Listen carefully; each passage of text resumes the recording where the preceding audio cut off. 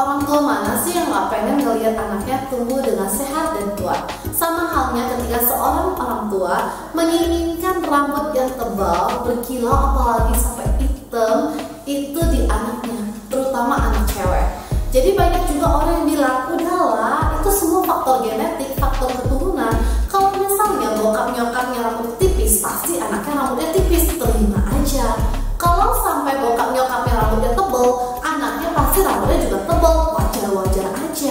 Mams, jangan salah. Ternyata faktor genetik atau faktor keturunan untuk memiliki rambut yang tebal untuk anak-anak kita itu hanya berkisar 50%. 50% sisanya tergantung dari kita. Tergantung bagaimana kita mentreatment kepala baby kita atau kepala anak kita agar memiliki rambut yang kuat, sehat, dan tebal tentunya. Jadi mami sendiri punya pengalaman pas baby Louis lahir rambutnya tebal banget. Dengan pedenya ya satu bulan kemudian mami potong, potong botak dong sesuai dengan tradisi. Karena mami ngerasa ya udah ini kayak genetik gitu loh, Louisa pasti tebal lagi. Jadi dia lebih cuek bebek gitu loh. Mami nggak pernah kasih treatment apa pun, nggak pernah cari sampo yang bagus, dan nggak pernah kasih vitamin apa pun mams. Alhasil di umur Louisa satu tahun, ini perayaan ulang tahun satu tahun,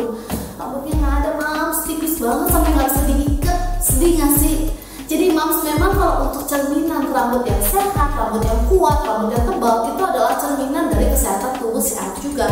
Kalau sampai rambutnya tipis, terus nggak bervitamin, pokoknya nggak sehat, itu adalah cerminan kesehatan tubuh anak kita juga terganggu. Jadi wajar-wajar aja kalau seorang orang tua khawatir, udah mulai panik kalau melihat anaknya rambutnya tipis dan akan cari solusinya. Jadi ini adalah berikut solusi untuk membuat rambut beleza, essa marca, né? Tá, vou depois,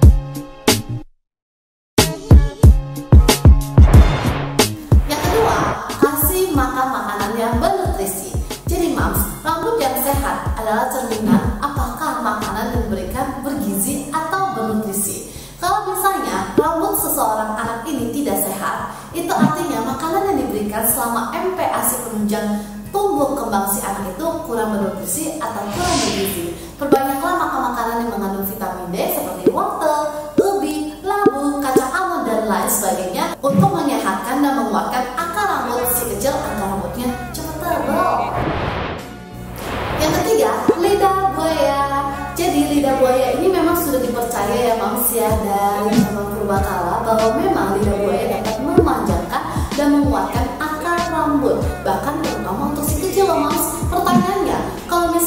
buaya kita aplikasikan ke kepala baby kita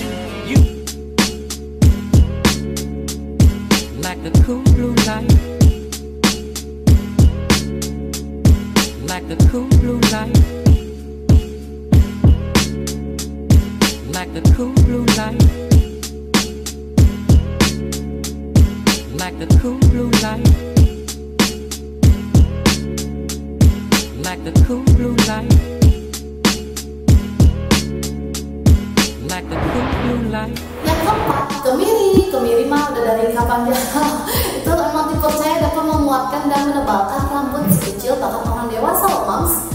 Jadi ini sekarang Wise lagi pakai minyak kemiri untuk melebatkan rambut dia. Nih, anteng lagi Wise. Soalnya dia udah biasa dari dia newborn, dia pakai minyak kemiri ini di rambut dia. Dan saya kenapa rambut dia tuh tebal dan panjang dan hitam tentunya. Oh ini nggak Cak? Enggak. Oh, enggak, jujur banget.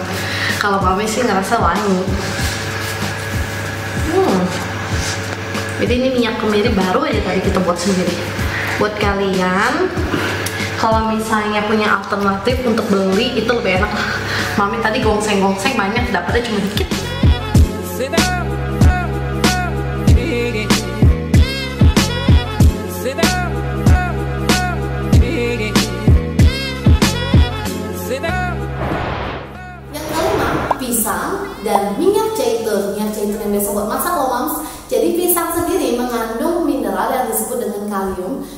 Zaitun sendiri memiliki kandungan yang dapat memberikan kekuatan folikel terhadap rambut dan memperpanjang rambut anak kita bahkan orang dewasa agar nggak cepat rontok juga.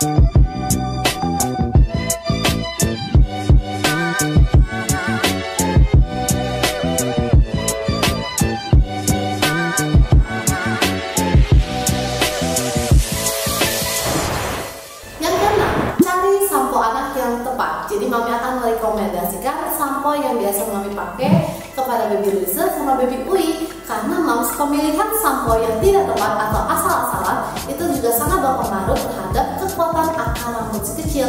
Kalau sampai samponya nggak bagus, otomatis rambut anak kita juga susah mam. Kebanyakan rontok terus kayak baby Luisa kemarin-kemarin. Jadi untuk pemilihan sampo juga mami hati-hati banget. Mami pakai ini sampo dari Buds.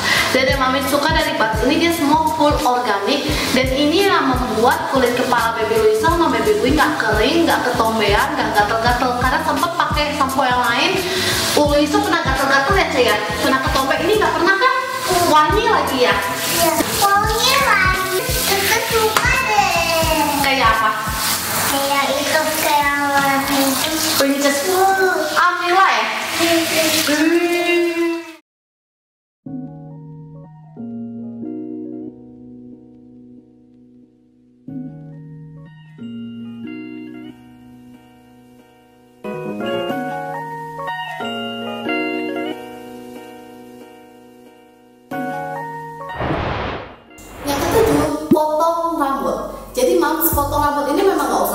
usah terus-terusan, tapi sesekali harus ada potong rambut. Ada tuh orang tua, aduh rambut anakku udah tipis, aku nggak mau ah dibotakin, aduh gue nggak mau ah dipotong kak sayang, nanti makin tipis. Mams, dengan kita melakukan potong rambut terhadap rambut anak kita, itu merangsang. Itu adalah satu stimulasi untuk merangsang agar folikel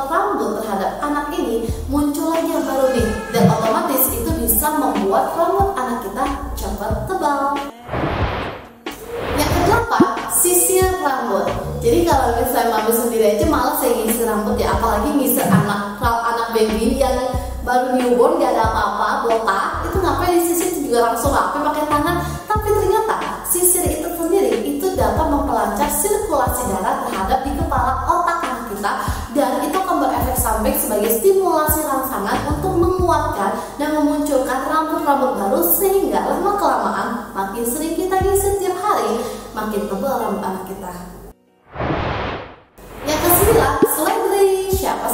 Seledri? Itu kan bahan masakan. Ternyata seledri sendiri itu juga memiliki kandungan protein, lemak, zat besi, mineral, vitamin A, B, C yang dapat menunjang dan mempercepat pertumbuhan dari rambut si kecil bahkan orang dewasa loh moms. Nih caranya.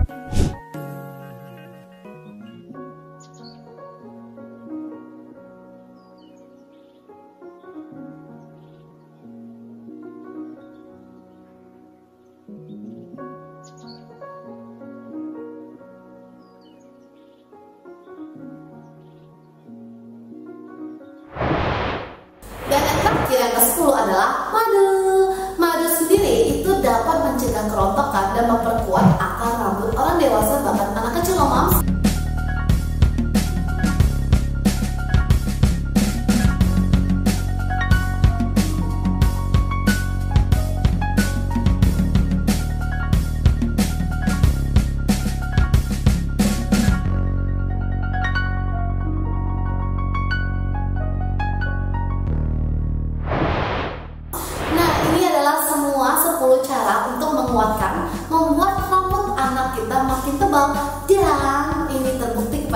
Kepada Baby Luisa sekarang rambut tebal banget dan panjang. Jadi makin cantik kayak doll gitu kayak boneka. Apalagi dia suka banget diikutin kayak princess. Dan tentunya ini semua tidak akan terjadi kalau sampai maminya tidak rajin-rajin mengaplikasikan treatment-treatment berbagai cara untuk membuat rambut anak mami makin tebal. Good luck, semoga berhasil. Tapi tenang moms, sesuatu perjuangan yang tidak ada henti-hentinya pasti akan menghasilkan hasil yang baik. Salah satunya rambut anak kita tebal. See you di next Jojo Moms.